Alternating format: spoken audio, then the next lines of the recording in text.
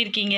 இன்றைக்கி நம்மளோட சேனலில் பார்க்க போகிறது என்னென்னு பார்த்தீங்கன்னா கை மேலே காசு ஏர்ன் பண்ணக்கூடிய பிஸ்னஸ் தான். ஒரு சில பிஸ்னஸ் தான் பார்த்தீங்க அப்படின்னா நம்மளால் இப்போது அதாவது மார்னிங் நான் ஒரு தொழிலில் இன்வெஸ்ட் பண்ணுறேன் அப்படின்னா ஈவினிங்குள்ளே காசு எனக்கு கிடைக்கும் அப்படின்றதுலே நமக்கு ஒரு சில தொழிலில் மட்டும்தான் இந்த ஒரு வாய்ப்பு நமக்கு கிடைக்கும். ஸோ அந்த மாதிரி ஒரு பிஸ்னஸ் தான் இன்றைக்கி பார்க்க போகிறோம் அதே போல் இந்த பிஸ்னஸ் ரொம்ப பெரிய பெரிய லெவலில் வந்து பண்ணிகிட்ருக்கிறவங்க மட்டும்தான் செய்ய முடியும். அப்படி தான் மக்கள் வாங்குவாங்க அப்படின்னு நினச்சிட்ருக்கோம் அதெல்லாம் ஒன்றுமே கிடையாது. இந்த பிஸ்னஸ் பார்த்தீங்க அப்படின்னா இப்போ டாப் டென் இந்த இண்டஸ்ட்ரியில் வருது நமக்கு அப்படின்னா கண்டிப்பாக ஒரு இடத்துல இது வந்து இடம் பிடிக்கும். ஸோ இது என்ன அப்படின்றத பார்க்குறதுக்கு முன்னாடி இன்னும் நம்மளோட சேனலை பார்த்துட்ருக்கிறவங்க சப்ஸ்கிரைப் பண்ணல அப்படின்னா ப்ளீஸ் கீழே தெரிய ரெட் கலர் பட்டனை ப்ரெஸ் பண்ணி சப்ஸ்கிரைப் பண்ண மறக்காதீங்க. அதே போல் நம்ம இன்னொரு சேனலும் ஸ்டார்ட் பண்ணியிருக்கோம். சாரி டு டிஸ்டர்ப் சொல்லிட்டு அந்த சேனலோட லிங்க்கும் நான் கீழே தரேன். அது ஒரு வீலாக் அது. ஸோ கண்டிப்பாக வந்து அது உங்களுக்கு பிடிச்சிருந்தது அப்படின்னா சப் சப்போர்ட் பண்ணுங்கள் சப்ஸ்கிரைப் பண்ணுங்கள் ஸோ வாங்க இன்னைக்கு கான்செப்ட்குள்ளே போயிடலாம். இது என்ன அப்படின்னு பார்த்தீங்க அப்படின்னா ஃபர்ஸ்ட் சொல்லிடுறேன். டாப் டென்குள்ளே இடம் பிடிக்கும் அப்படின்னு சொன்ன இண்டஸ்ட்ரி பார்த்தீங்கன்னா ஃபுட் ஃபுட் இண்டஸ்ட்ரி ஃபுட் இண்டஸ்ட்ரின்றது என்றைக்குமே வந்துட்டு அழியாத ஒரு இண்டஸ்ட்ரிங்க ஸோ அதில் தான் நம்ம இன்றைக்கி பார்க்க போகிறோம் இது என்ன அப்படின்னா chicken popcorn so chicken popcorn அப்படின்றது நம்ம பெரிய பெரிய ரெஸ்டாரண்ட்ஸில் பெரிய பெரிய அந்த துரித உணவு ஃபாஸ்ட் ஃபுட்ஸ்னு சொல்லுவோம் பார்த்தீங்களா அந்த ஒரு கேட்டகரியில் வரக்கூடிய உணவு தான் இது. ஸோ இதை தான் வந்துட்டு பார்த்திங்க அப்படின்னா நிறைய பேர் பார்த்திங்க விரும்பி வாங்குவாங்க. இதோட குவான்டிட்டின்னு பார்த்திங்க அப்படின்னா நமக்கு ஒரு எட்டு பீஸ்லேருந்து பன்னெண்டு பீஸ் உடையது அப்படின்னு எடுத்துக்கிட்டோம் அப்படின்னாலே நமக்கு நூற்றி பதினஞ்சு ரூபா சார்ஜஸ் நமக்கு இதை பண்ணுவாங்க. ஆனால் ஒரு சில இடத்துல மட்டும்தான் இது வந்து கிடைக்கும் அவைலபிளாக இருக்கும். அதாவது இந்த துரித உணவுகள் சொல்கிறோம் பார்த்தீங்களா? அந்த மாதிரி. ஸோ அந்த மாதிரி இருக்கிற உணவை நம்ம வந்து சிக்கன் பக்கோடா அப்படின்றது நார்மலாக எடுத்துக்கிட்டோம் அப்படின்னா ஃபர்ஸ்டெல்லாம் ஸ்ட்ரீட் ஃபுட்டாக நிறைய பேர் வந்து போட்டுட்டு இருந்தாங்க. சிக்கன் ஷாப்காரங்களே பார்த்தீங்கன்னா அதுக்கப்புறம் போக போட ஆரம்பிச்சிட்டாங்க. அவங்கக்கிட்ட பேலன்ஸ் இருக்கிறது ஈவினிங் டைம்ஸில் ஏன் அப்படின்னா அவ்வளோ சிக்கன் சேல்ஸ் ஆகிறத காட்டிலும் இந்த சிக்கன் பக்கோடான்னு ஈவினிங்கில் நம்ம போடுறோம் பார்த்தீங்களா அது அந்த அளவுக்கு சேல்ஸ் ஆகும் சீரியஸாகவே ஸோ நம்ம எல்லோரும் போடுற மாதிரி ஒரே மாதிரி போடுறத விட கொஞ்சம் டிஃப்ரெண்ட்டாக பண்ணணும் அப்படின்னு சொல்லிட்டு நான் நிறைய வாட்டி சொல்லியிருக்கேன். ஏன்னா ஒரு டிஃப்ரென்ஸ் காட்டினா தான் நம்ம ஒரு யூனிக்னஸாக இருக்க முடியும். உங்கள் ஏரியாவில் நீங்கள் ஒரு ஸ்ட்ரீட் ஃபுட் ஆரம்பித்து சிக்கன் பாப்கார்ன் அப்படின்னு நீங்கள் போட்டு பாருங்கள் இன்கேஸ் உங்களுக்கு ஸ்ட்ரீட் ஃபுட் ஆரம்பிக்கிறதுல ஒரு இன்ட்ரெஸ்ட் இருக்குது அப்படின்னு நீங்கள் நினச்சிங்க அப்படின்னா கண்டிப்பாக வந்து இதை நீங்கள் எடுத்து செய்யலாம். ஸோ இதுக்கு செய்கிறதுக்கான மெயின் இன்க்ரீடியன்ட் என்னன்னு பார்த்தீங்கன்னா உங்களுக்கு சிக்கன் நெக்ஸ்ட் அதோட மசாலா. இந்த கிறிஸ்பியாகவும் க்ரன்ச்சியாகவும் நமக்கு பாப்கார்ன் மாதிரி இருக்கிற மசாலா. ஸோ அந்த பாப்கார்ன் மசாலா எங்கே கிடைக்கும் அப்படின்ற லிங்க் வந்து உங்களுக்கு டிஸ்கிரிப்ஷனில் கொடுக்குறேன். நீங்கள் செக் பண்ணி பாருங்கள் இதுக்கு நார்மலாக பார்த்தீங்க அப்படின்னா பேசிக் எப்படி நான் மேக் பண்ணோம் அப்படின்றதையும் சொல்லிடுறேன். உங்களுக்கு கணக்கும் நான் வந்து உங்களுக்கு சொல்லிடுறேன். ஸோ எந்த வகையாக வந்துட்டு இது நமக்கு வந்து லாபம் தரக்கூடியது அப்படின்னு சொல்லிட்டு ஒரு விஷயத்தையும் நான் வந்து உங்களுக்கு தந்துடுறேன். ஃபர்ஸ்ட் பார்த்தீங்க அப்படின்னா உங்களுக்கு போன்லெஸ் சிக்கன் தான் இதுக்கு தேவை. ஸோ போன்லெஸ் சிக்கன் அப்படின்னா நம்ம ப்ரைஸ் பார்த்துக்கணுங்க.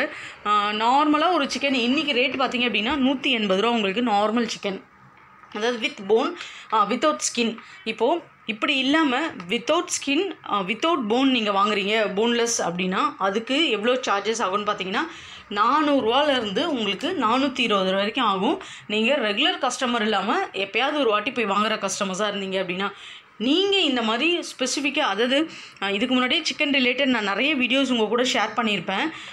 ஹோல்சேலில் வாங்குகிறோம் அப்படின்னா பேப்பர் ப்ளஸ் அப்படின்னு சொல்லுவாங்க. Paper plus two paper plus ten paper plus twenty அதுனா என்னென்னு நான் உங்களுக்கு எக்ஸ்பிளைன் பண்ணிடுறேன். ஏன்னா இதில் பேஸ்லேருந்து தெரிஞ்சால் தான் உங்களுக்கு ப்ராஃபிட் எவ்வளோ வரும்ன்றது தெரியும் ஃப்ரெண்ட்ஸ் இன்கேஸ் இது வேண்டாம் உங்களுக்கு ஸ்கிப் பண்ணணும்னு நினைக்கிறவங்க நீங்கள் ஒரு ஒன் மினிட் கழித்து ஸ்கிப் பண்ணிவிடுங்க அது உங்களுக்கு டைரெக்டாக போயிடும் லிங்க்ஸு இப்போ பார்த்தீங்க அப்படின்னா பேப்பர் ப்ளஸ் டூ அப்படின்னா நம்ம ஒரு சிக்கன் வியாபாரம் பண்ணுறோம் அப்படின்னா காலையில் பார்த்தீங்க அப்படின்னா எல்லாம் பேப்பர்லேயுமே வந்து இன்னியோட க கறிக்கோழியோட நிலவரம் ரேட் அப்படின்னு போட்டிருப்பாங்க.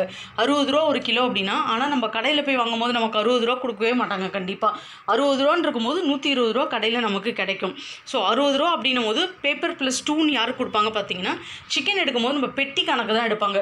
ஒரு பாக்ஸ் ஒரு பாக்ஸில் பார்த்தீங்கன்னா ஒரு பன்னெண்டுலேருந்து பதினஞ்சு கோழி. அந்த மாதிரி ஒரு அதில் கிலோன்னு பார்த்தீங்க அப்படின்னா ஒன்றரை கிலோ உடையது ஒரு ஒரு பதினஞ்சு கிலோ இருபது கிலோ அந்த ஒரு பாக்ஸ் அப்படி தான் எடுப்பாங்க சிக்கன்காரங்க இது வந்து கறிக்கடைக்கு வந்து அவங்க அப்படி எடுப்பாங்க.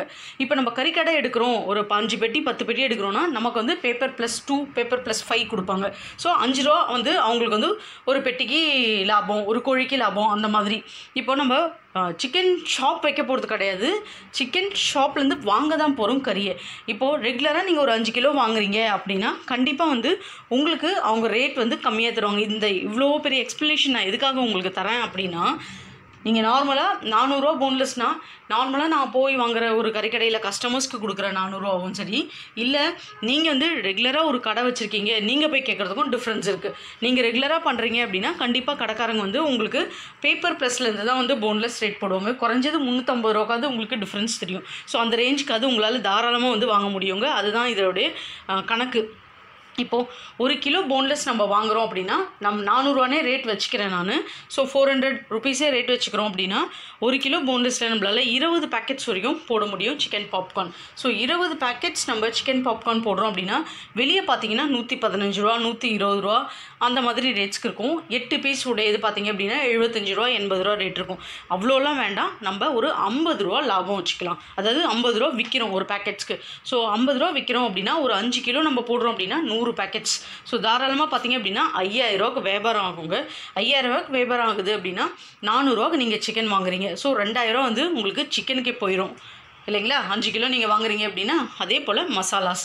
ஸோ மசாலாஸ்க்கு பார்த்தீங்கன்னா ஒரு ஃபைவ் ஹண்ட்ரட் ருபீஸ் நான் வச்சுக்கிறேன். மசாலா ஆயில் ஃப்ரை பண்ணுறது நீங்கள் ஏன்னா நீங்கள் ஸ்ட்ரீட் ஃபுட்டுன்றதுனால கடைக்குன்னு சொல்லிட்டு ஸ்பெசிஃபிக்காக எதுவும் வந்து அமௌண்ட் ஸ்பெண்ட் பண்ண போகிறது கிடையாது. ஸோ ஒரு நாலு பிளாஸ்டிக் மூடா இவ்வளோ தான் இந்த மாதிரி நீங்கள் பண்ணும்போது உங்களுக்கு ரெண்டாயிரத்து ஐநூறுரூவா கிட்ட லாபம் வரும். எல்லாமே போக ஒரு ஐநூறுரூவா அதர் எக்ஸ்பென்ஸ் அப்படின்னு நீங்கள் வச்சுட்டா கூட ரெண்டாயிரரூவா சாலிடாக எடுக்க முடியும். சண்டேஸில் இதோட ப்ராஃபிட் டபுள் மடங்காக இன்க்ரீஸ் ஆகும். ஸோ இது இது பார்த்தீங்க அப்படின்னா நார்மல் சிக்கன் பக்கோடா கடை கிடையாது. ஸோ கான்செப்ட் இது தான் ஏன்னா சிக்கன் பக்கோடா அப்படின்றது அது ட்ரெண்ட் பிரேக் ஆகிடுச்சு அவ்வளோதான் அது. அது வந்து சேல்ஸ் ஆகலைன்னு நான் சொல்லலை. பட் எல்லாரும் தெருவுக்கு தெரு சிக்கன் பக்கோடா விற்கிறாங்க ஆனால் நீங்கள் அந்த இடத்துல ஒரு சிக்கன் பாப்கார்ன் போட்டிங்கன்னா உங்களை பார்த்து கண்டிப்பாக காப்பி அடிச்சிருவாங்க. சிக்கன் பக்கோடா போடுறவங்க கன்ஃபார்மாக காப்பி அடிச்சிருவாங்க. ஆனால் என்ன தான் காப்பி அடித்தாலும் முதல் வாட்டி அதை இனிஷியேட் பண்ணவங்களுக்குன்னு ஒரு பேர் இருக்குது பார்த்தீங்களா அந்த பேர் வந்து யாராலையும் எடுக்க முடியாது. அதே போல் அந்த டேஸ்ட் உங்களுக்குன்னு ஒரு தனித்துவம் இருக்கும் பார்த்தீங்களா யூனிக்னஸ் அதையும் யாராலையுமே திருட முடியாது. அதனால் நீங்கள் பயப்படாதீங்க. நான் ஒரு கடை போட்டதும் எனக்கு ஆப்போசிட்லேயே பார்த்தீங்க அப்படின்னா ஒருத்தங்க கடை போட்டாங்கன்னு சொல்லிட்டு நான் என்னோட நிறைய வீடியோஸ்லேயே இதை ஷேர் பண்ணியிருப்பேன் இங்கே ஒரு சிக்கன் கடை இருக்குது அப்படின்னா அவனுக்கு மட்டும் நல்லா ஓடுதுன்னு தெரிஞ்சிச்சுன்னா பத்தடியில் இன்னொரு சிக்கன் கடை போட்டுரும் அதுக்கு ஆப்போசிட்லேயே இன்னொரு சிக்கன் கடை போட்டுரும் ஸோ அடுத்தவங்களை எப்படி ஈஸியாக வந்துட்டு அவங்கள பார்த்து காப்பி அடித்து மேலே வந்துடலாம் அப்படின்னா மேக்ஸிமம் வந்து யோசிக்கிறாங்க.